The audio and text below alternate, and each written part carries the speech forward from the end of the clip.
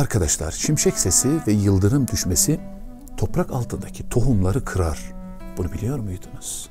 Toprakta bitki yetişmesi için nitratın gerekli olduğunu peki, havadaki azotu toprağa yıldırımların verdiğini, bitkilerin ve ağaçların çoğalmasına yardımcı olduğunu, her şeyi, her şeyi kusursuz ve nedenleriyle, nedenleriyle yaratan Allah'a şükürler olsun demek gerekmez mi? Vallahi gerekir. Peki arıların peteğini inşa ederken 109 derece 28 dakika, 70 derece 32 dakikalık iki açı kullandığını biliyor musunuz? Ne kadar ilginç değil mi? Neden böyle açılar kullanıyormuş biliyor musunuz? Petek uçları 13'er derece yüksektir. Bu eğim ile bal petekten akmaz da ondan.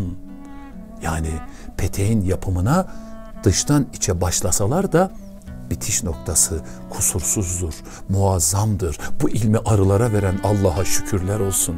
Arkadaşlar yağmur bulutlarının sahip olduğu 300 bin tonluk suyu bir anda boşaltıp bizi helak etmek yerine damla damla indirip bize ve kara toprağa hayat verip o kara topraktan rengarenk nimetler veren Allah'a binlerce şükürler olsun.''